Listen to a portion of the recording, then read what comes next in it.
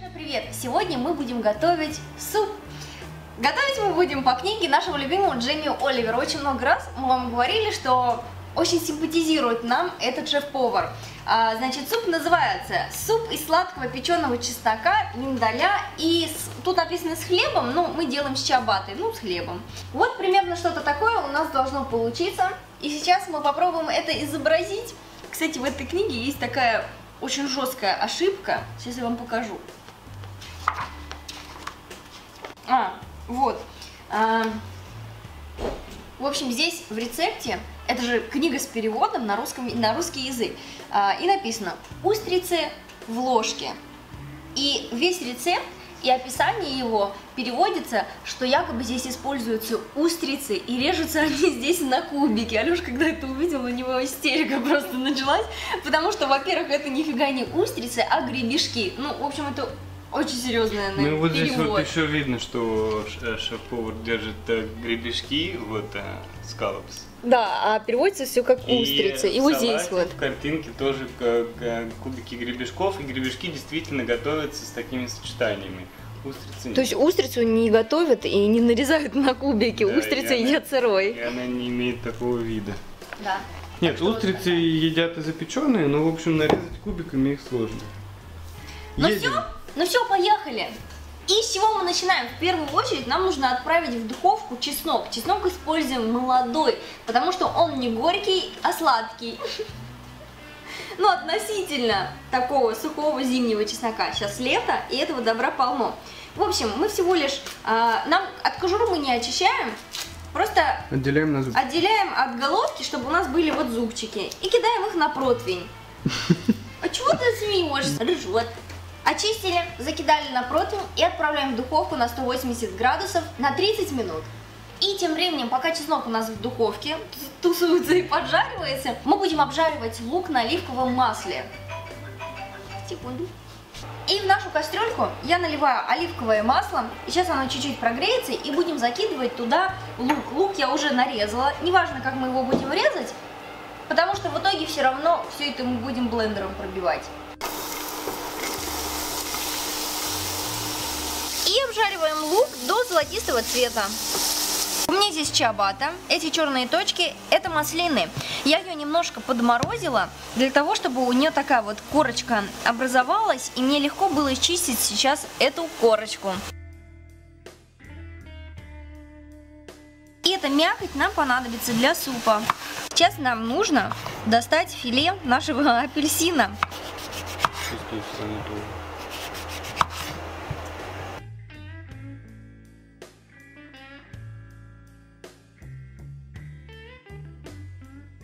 нужно снимать так, чтобы пленочка у нас была убрана.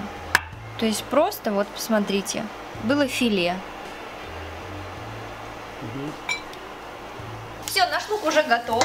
Можем продолжать. Здесь по рецепту используется белый уксус. Мы сейчас его добавлять не будем, но мы вот все вот эти вот жопки, которые у нас остались от апельсина, мы просто выжмем сюда. То есть сюда просто нужна кислота, и мы ее добавляем. Можно, наверное, даже и лимончик это сделать. Ну, с э, апельсином это будет пикантнее. Мы предварительно отварили крутой куриный бульон. Делайте так, как вы любите. Варите его либо с овощами, либо просто с курочкой. А, и все, и наливаем мы его сюда. Я использую жирные сливки 33-35%. И также отправляем их сюда.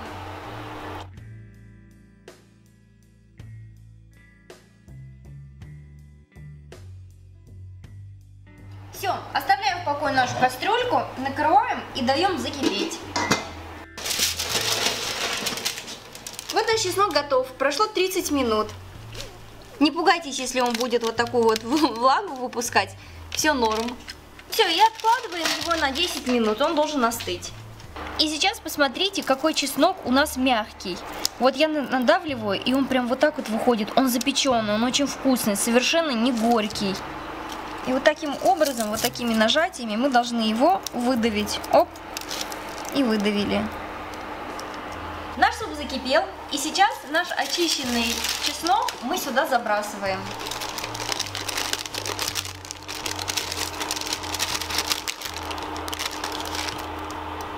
Он лип, лип, липкий, поэтому вот немножко нужно ему помочь. Также мы забрасываем сюда мякоть нашей чиабаты. Вы сейчас подумаете, что это за суп такой. Но он правда очень вкусный. Лепестки миндаля, они обжаренные, не сырые. Так, и у меня здесь, это уже от себячина, марципан. Марципан придает просто невероятный, яркий миндальный вкус. И здесь в марципане, естественно, содержится сахар, и поэтому сахар мы уже не будем добавлять, а просто кидаем сюда э, кубики марципана.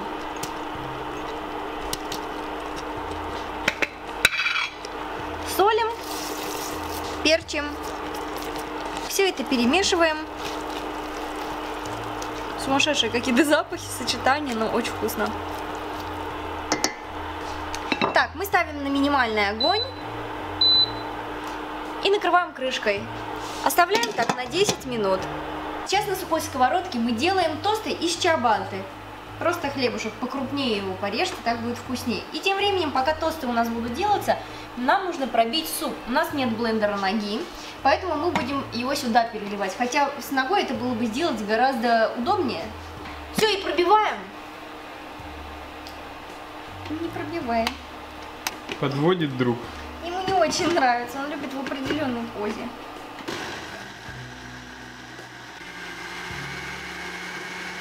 Посмотрите, вот такая вот идеальная консистенция у нас получилась.